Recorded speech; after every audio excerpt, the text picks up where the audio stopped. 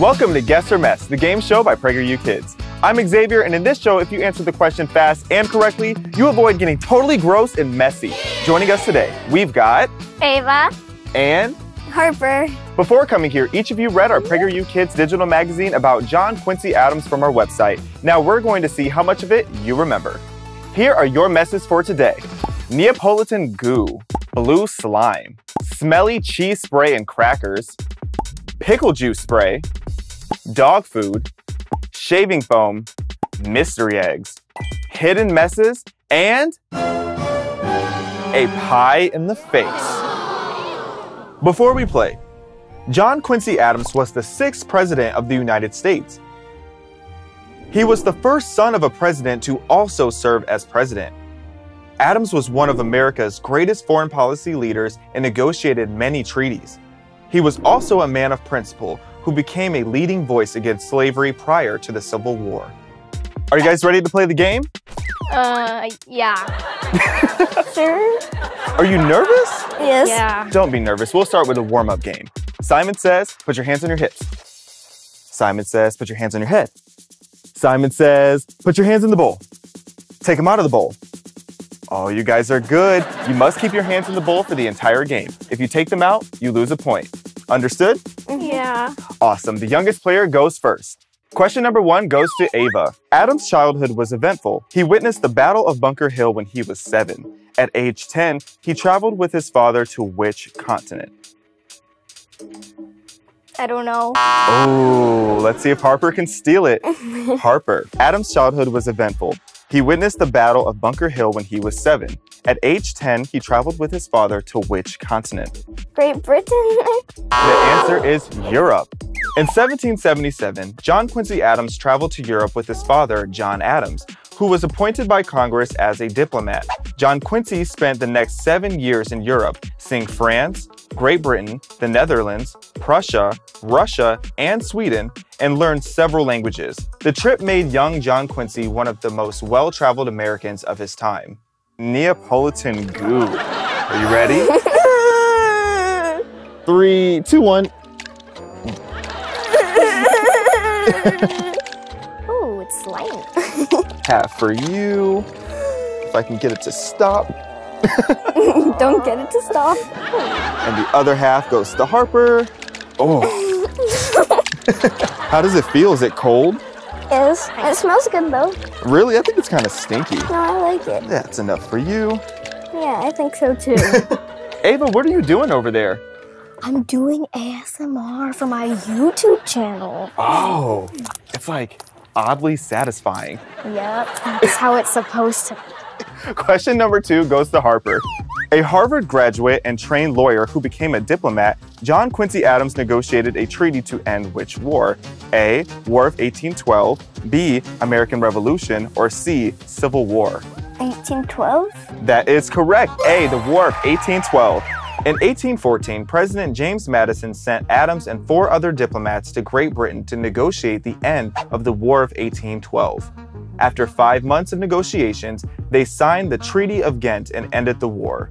Because we've got some nice Smurfette potion here for you. Wow. This is going to be even more oddly satisfying. More collection. oh, never mind.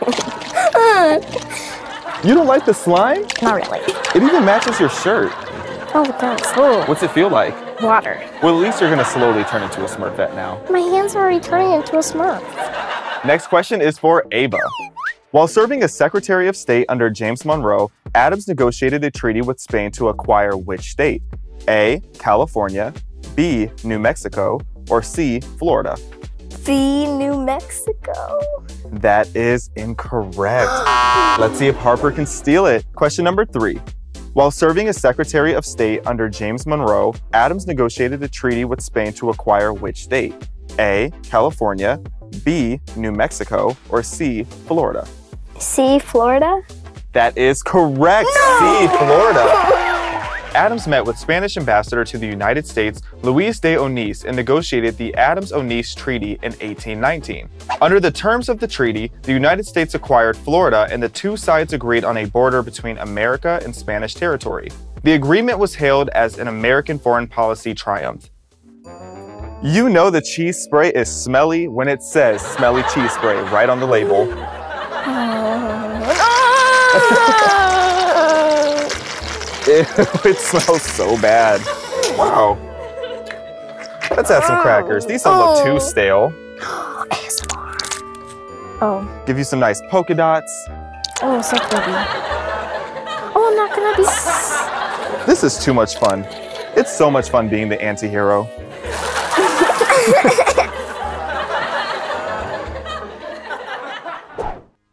Question number four goes to Harper. Many say that Adams' most famous accomplishment with President Monroe was when he helped craft what foreign policy doctrine? Mm, I don't know that one. Ooh. Let's see if Ava can steal it. Ava, question number four. Many say that Adams' most famous accomplishment with President Monroe was when he helped craft which foreign policy doctrine? I don't know. Uh oh. The answer is the Monroe Doctrine. Adams served as Secretary of State under President James Monroe and worked with him to issue the Monroe Doctrine in 1823. The doctrine announced that the United States would oppose European attempts to colonize the Western Hemisphere. To this day, it is a very important part of American foreign policy. Well, this is going to be great for you guys. You're both getting the pickle juice spray. Oh no. Are you ready for your fate with the pickle juice spray? Then here we go. Oh, how does it smell? Uh, do you like the pickly smell? Yeah. You do? Well, let's give you another spray of the pickle juice Oh, that smells really good. Thank you. Yeah, we do. Is your slime still slimy? No? What's it like now? Oh, oh ASMR. we need that. And another one. I like that. Ah. It's at least a nice color in your bowl now. Ooh, it's a really pretty ocean with a little bit of sand. Exactly. Just at a resort, casually eating a pickle. It's a whale. Oh, now I have a blue Smurf pickle. Uh, What's that sound? Oh yeah, that means it's time for a Patriot Pop Quiz. Now, each of you get a chance to answer a trivia question about America that was not in your John Quincy Adams digital magazine. But there's a twist. You'll both be blindfolded for your question and mess. Patriot Pop Quiz question number one goes to Ava. What right does the First Amendment guarantee? A. The right to bear arms. B. Freedom of speech. C. Trial by jury. B, freedom of speech. That is correct. B. Freedom of speech. The First Amendment, the most famous of all amendments, guarantees Americans the right to freedom of speech. This means that Americans can express opinions without fear of punishment by the US government as long as they do not harm anyone with what they say. This looks so squishy and gross. Oh, it's the pig no. ears, isn't it? You would probably wish it was pig ears after you see what this is Oh gonna be. no. Just woke it up, whatever it is. Oh, it's the worms. Oh. Oh, yep, that's a pig. It might just be a pig ear. Oh. Or a bunch of them. No, help me. oh. no. Bit. No. Oh no, it's dog food. it feels like packing peanuts. packing peanuts. I don't think I'd want that in a package. Patriot Pop Quiz question number two goes to Harper. Who is the highest ranking judge on the Supreme Court? I don't know. Oh, let's see if Ava can steal it. Ava, who is the highest ranking judge on the Supreme Court? Um, I n- no idea. Oh, the answer is the Chief Justice. The Supreme Court has nine justices, and they all have one vote when making decisions. Even though the Chief Justice has the same number of votes as everyone else, he is considered the highest ranking judge. Also, the Constitution designates the Chief Justice as the presiding officer during an impeachment trial of the president. No. Oh wow, they're crawling around the bowl. Oh no. At least they're slow. They don't crawl too fast. Well, maybe I can mix them in my Smurf Ocean Potion. I think you might end up doing just that. I've never seen worms this gross though. Worms are not squishy. How do you know that? I don't know. Oh, What is Harper. this? It's dog food, I think. Uh, Yeah, it's dog food. I hear the kids. That's the jar. That's what we have to keep them in so they don't escape the room. Let's take those blindfolds off and see what those messes are. Marshmallows. To your bowl. Ew. Now back to John Quincy Adams. Next question goes to Ava. John Quincy Adams once said, America goes not abroad in search of blank to destroy A. Giants, B. Monsters, or C. Dinosaurs. A giants. That is incorrect. Harper, can you steal it? Question number five. John Quincy Adams once said, America goes not abroad in search of blank to destroy A. Giants, B. Monsters, or C. Dinosaurs. B monsters? That is correct. B. Monsters. During his tenure as Secretary of State, Adams gave a speech where he stated, America goes not abroad in search of monsters to destroy. She is the well wisher to the freedom and independence of all. In other words, he believed that the United States should not be an aggressive nation that interfered in other countries' affairs. This policy guided America's relations with other countries for much of its early history. Do you have a dog at home? No, You don't? no, she Aw. does. Yeah. I, I don't think my dog would even like that. Really? No. Otto loves these. Well, hopefully you can appreciate it. Mm. Okay, it wasn't the well, since food. you insist, I speak a little bit of I dog never language. That smell. Oh. Yeah, I don't blame your dog for not eating this. Yeah. Oh. Well, as long as your hands are in there, you don't lose a point. Oh, they're in, they're in, they're in. Trust me, they're in. That is so disgusting. Question number six goes to Harper. In 1824, Adams ran for president and won due to a voting discrepancy and runoff. What did he not want to accomplish as president? A. Building new infrastructure. B. Implementing new tariffs. C. Expanding slavery.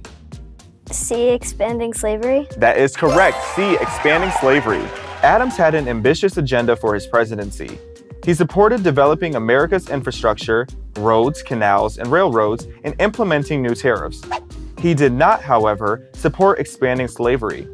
Throughout his career, he was a firm opponent of slavery, even calling it a sin before God. And what do we have oh, that's here? not bad. That's all we're gonna do. That's it? Kidding. See, it's not that bad. Oh, it smells good. You're welcome. Thank you. Want a little on top?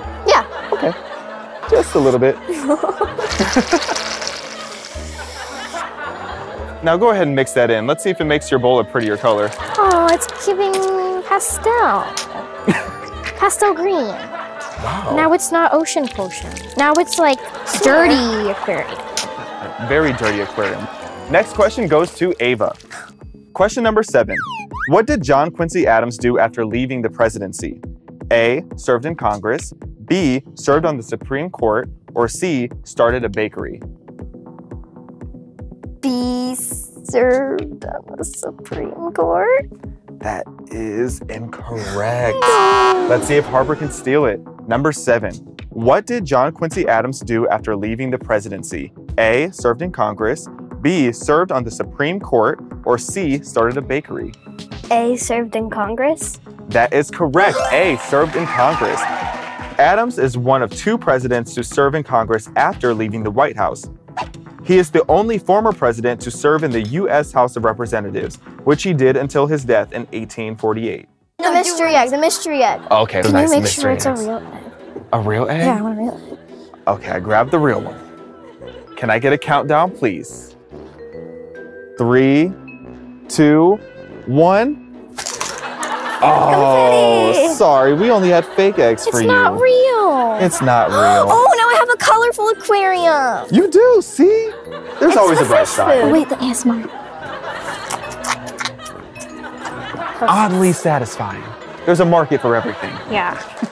Now it's time for the final question, and this is an important one. Whoever gets this one wrong gets a pie in the face. But there's a twist. You must hit your buzzer first in order to answer the question. Understood? Mm-hmm. Yeah. Then let's get started. What famous educational institution did Adams start in his retirement? Harvard University? That is incorrect. Do you want to guess, Ava? what famous educational institution did Adams start in his retirement?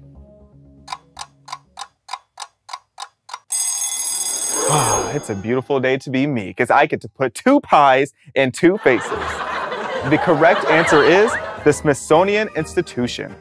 Adams strongly promoted science and worked hard during his time in Congress to establish a National Institute of Science. Thanks to his efforts, Congress voted to establish the Smithsonian Institution in 1846. Today, in Washington, D.C., the Smithsonian Institution runs several museums that receive about 30 million visitors per year. Ah, you know, I've always wanted to be a baker. Oh no.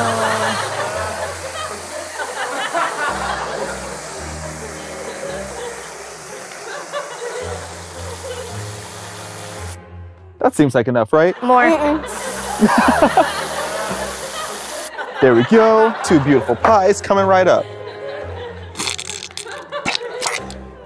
And some sprinkles on top. Oh, we need a And lot just one more. more. That's what I like to see. wow. Let's do a countdown together. Five, four, three, two, one. Bye, Harper. Oh. I can't sing. Ooh, I'm And just so you can see Ava get her pie too, I still can't sing. I'm gonna have my tongue out. can I get another countdown, please? Five, four, three, two, one. Oh.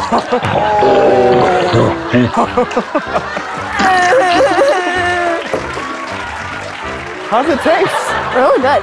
Thank you! Finally, someone appreciates my cooking. Here's what we learned John Quincy Adams was the sixth president of the United States. He was mentored by his father, John Adams, who also served as president. Adams became one of America's greatest diplomats and negotiated many treaties. He was never afraid to fight for what he believed in and courageously opposed slavery. The winner of our five point star and American flag trophy is Harper. On our flag, red stands for courage, white is for purity, and blue is for justice and perseverance.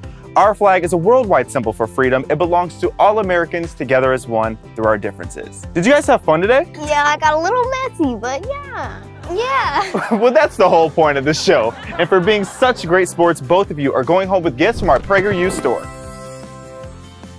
And we hope you learned something too. For more fun, visit us at PragerUKids.com and enjoy all of our digital magazines and shows. Now, you two, shake hands. How do I? Good game, bro. Good game. And how about a high five? Oh no. Are you ready for it? See you next time. Bye.